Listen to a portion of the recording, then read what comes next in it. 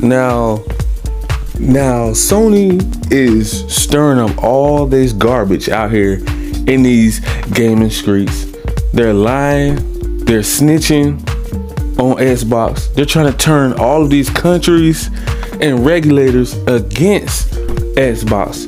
They even went to good old Take Two, you know, the home of, of GTA 5, Grand Theft Auto, Red Dead Redemption, Midnight Club, one of my favorite racing games of all time, Dub Edition. And these idiots are trying to turn all these billion dollar corporations, trillion dollar corporations against Xbox just to stop this deal. I'm talking about guys, this is getting crazy. They are they are questioning Take Two on whether it's pretty much going to damage the gaming industry. Can it be uh, anti-consumer or can it be inadequate?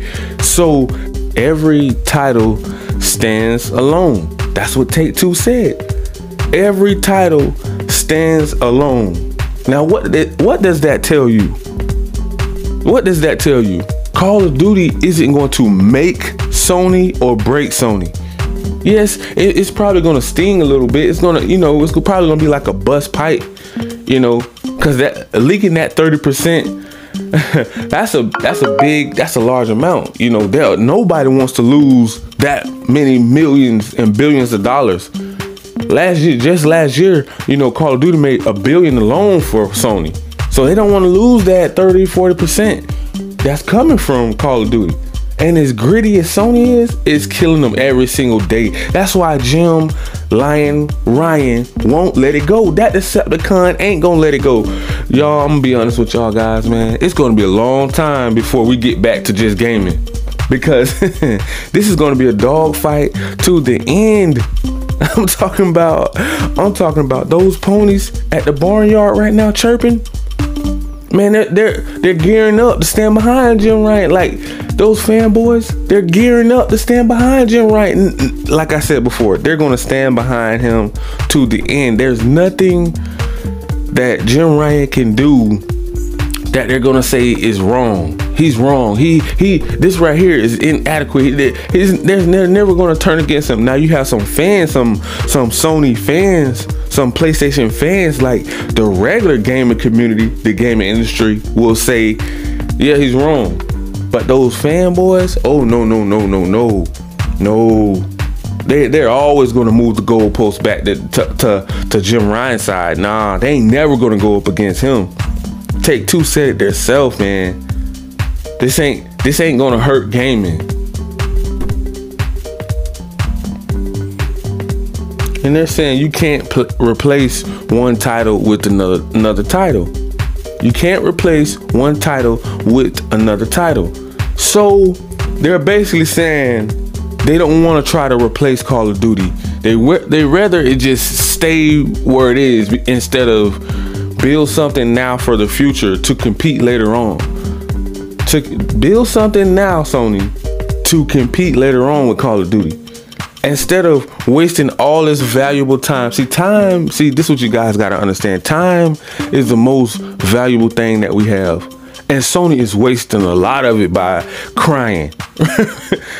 Right now. So they are wasting all of this time their resources. They have people that's ready to build a new game right now that they can get on. They can build you do know that you can build a game exactly like call of duty right they just don't want to spend the money to do it.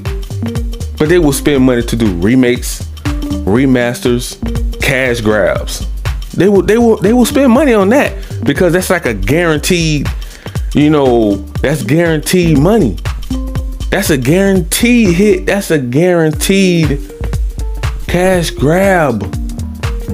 That's guaranteed flow that's about to come in, they already know it. If, if, if you're remaking a classic game, a legendary game, you know it's gonna sell because the name is too big. I don't, I don't get it though. Like you rather keep doing remakes and remasters. You're gonna bring back Horizon? Are you serious right now, Sony? Like this is a joke. This generation of Sony is a joke. PS5 is a joke it is a remake station here on out. Like clearly, it done trickled down to other studios now.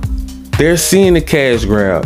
They're seeing how they're pretty much beating and cheating their own fan base. You don't think those other gaming studios and gaming creators are looking at that?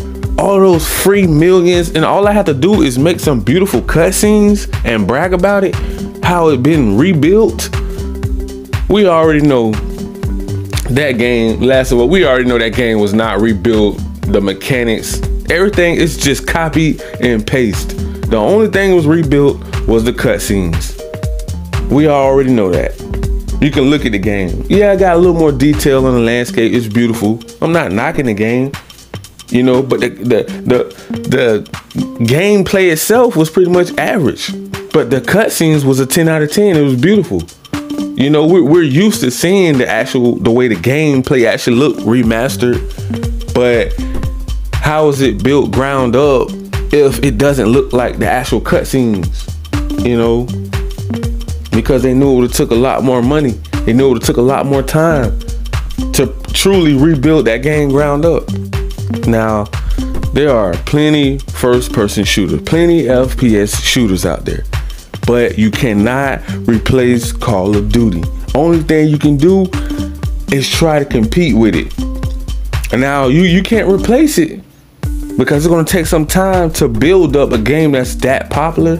But if anybody can do it, in this gaming industry have been that man Sony have been dogfighting generation after generation after generation and they're still here. They've been they've been here since the 90s and they've been fighting strong. So I don't see how this one game, this one pushback, this this was one moment that they, they have to face adversity. This one time that something big is about to be taken away from them and they feel like their whole company is going to crash and burn and come down tumbling. I don't I don't understand that part. It's something there I'm missing. Like how is this one game? You've been here since the 90s. You fought it out with Sega. You fought it out with Nintendo. You fought it out with Dreamcast. You fought it out with with the first Xbox. All the way into now. PC still survived. All of the little um, Nintendo Game Boys and Game Boys Advance and and GameCube Sony fought it out to the end and they're still here surviving. So how is one game, one shooter game? This is a game that that's not even your recipe. This is a first person shooter game. This ain't no walking simulator. This ain't no adventure game. This ain't no story driven adventure game. This ain't no role playing game. This ain't no Souls game. This ain't your recipe, Sony. This is Xbox recipe multiplayer shooters, RPGs, that's Xbox recipe.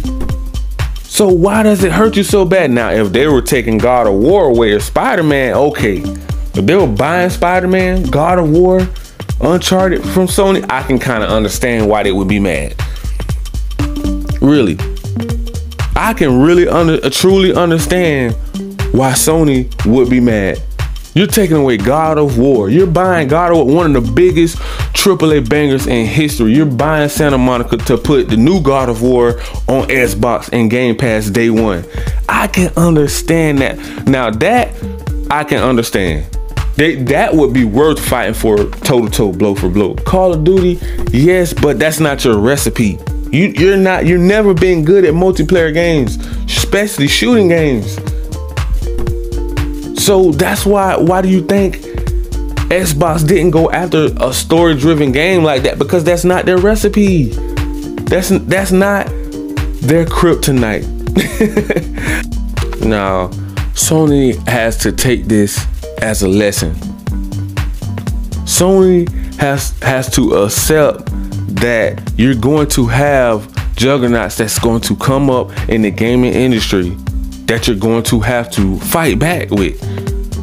They're going to have to understand that just by you crying to regulators in different countries and trying to team up and pretty much jump Xbox and Uncle Phil that they're just gonna lay down and just let it and stop the deal just because you're say just because you're Sony, just because you said so, just because you're a billion dollar corporation, or you have to listen to us. You have to listen to us. Like, how does that look right now? This is the most embarrassing thing I have ever seen in gaming history. If there's something else out there, I need to I need to find it. But as far as a CEO, a president of a brand big as huge as PlayStation, Sony's biggest gold mine, the biggest moneymaker that Sony have, and they're crying like a little baby. If anyone, I'm gonna tell you right now, if anyone in the gaming industry that should have been crying, it should have been Sega. Sega should have been crying like this. After they knocked off Sega and Sega just as a publisher and a developer, now now that now that that's the only thing they do is make games, that I can understand that point. I can understand that part. But Sony to be crying like this and and pretty much saying that we're we're just gonna stick to our guns. We're still gonna have those walking simulators, those story-driven adventure games like God of War, Horizon, Uncharted, Ghost of Tsushima's of the world, and so many more that's coming down the pipeline. They're gonna stick to their guns, but they don't want like they don't want to focus on a shooter. Like that's like they refuse to make a shooter. Why why is this such a big issue? I don't understand. Like why every time you say, hey man, we need a, a shooter, a first person shooter, like a big AAA banger, they refuse to do it. They will overlook what the game community wants, what the fan base want. And it needs to be day one. When they do decide, when they're forced to make it, when they do decide to actually do it, it definitely should be day one on PlayStation Plus, PlayStation Plus Premium Cloud Gaming, and mobile. That will be the only way that this game will move as fast as they want it to move and bring in the amount of money that they want it to bring in. And I'm not just saying that, y'all. I'm saying that because I don't want Sony to go anywhere, but I don't want to see them try to be nasty and dirty and compete like this. You know, this is not the right way. Like, this is bad for business. I'm sorry. This is terrible for business. Who wants to see Sony crying right now? I ain't gonna lie, it is funny. I ain't gonna, let's see, let's see, let's see Jim Ryan up there lying.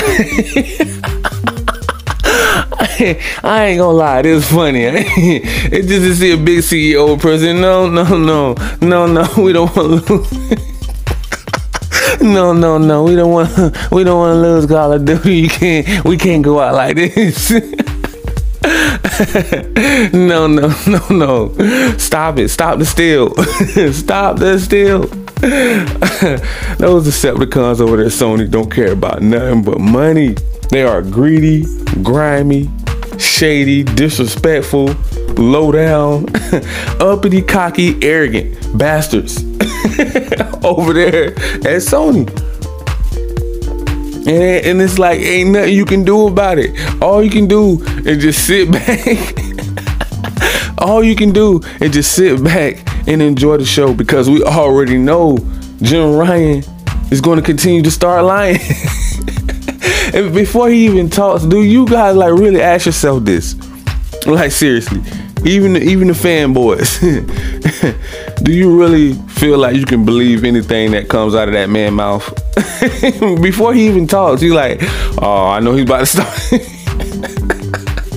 I know he's about to start lying at any minute. You know how you can see the words come out of somebody's mouth, and you be like, like, like, like a cartoon. You like, uh oh, like a comic book, and it just says liar, liar, lying Jim Ryan. That's lying, flying Jim Ryan.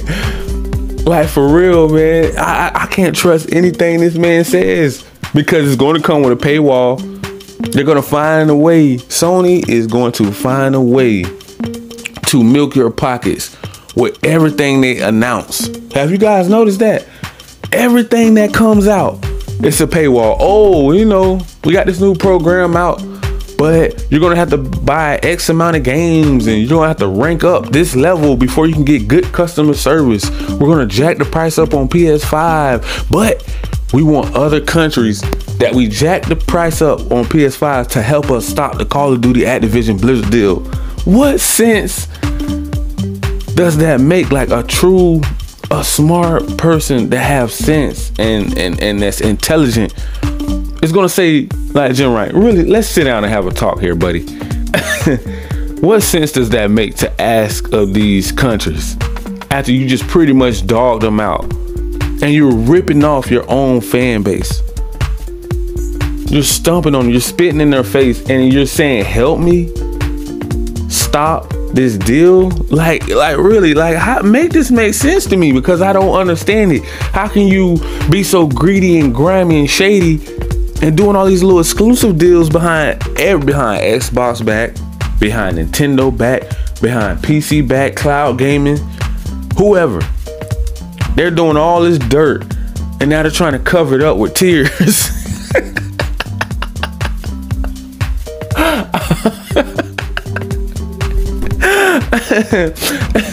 Jim Wright have been crying so long, man. we we all are about to start swimming at any moment. We're just gonna see a, a flood of water coming up. Like, man, where all this water coming from? It's a lot of rain. man, it's crazy. It is crazy, man. This is the worst gaming, bro. This is the worst gaming generation I have ever seen.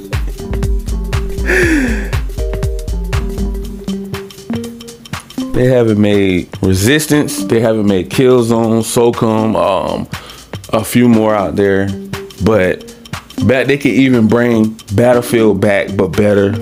Battlefield already have the mechanics. That shooter is already ready to go. It already have a, a big, pretty, pretty decent fan base. It ain't died off.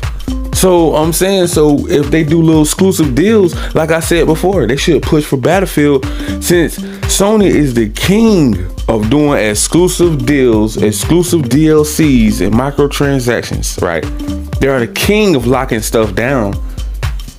Clearly, they can bring out an expansion pack or or an add-on or something exclusive to Sony so that they will bring out a, uh, they will have EA pretty much make them a Warzone and a Battlefield, but maybe just an exclusive Battlefield. It's the same thing as Battlefield, but pretty much it'll be an exclusive one for pretty much PlayStation because they've been doing it for years. So why would this be so hard for them to do? Battlefield is ready to go. Sony don't want to make a Call of Duty competitor, but Battlefield is the closest one the biggest one, the closest thing to Call of Duty, and we all know that. What other shooter out there that PlayStation have besides Rainbow Six, maybe? But I don't think, I still don't think Rainbow Six is on Battlefield level. Battlefield is a, a huge maps, uh, uh, so much you can do, and then on top of that, don't don't bring out the new Battlefield. Let's go back to the old days. Let's go back to the to the uh, Battlefield Three Battlefield 4. Let's go back to those days, Battlefields. Because we know those battlefields there were, were really trying to compete and take Call of Duty out.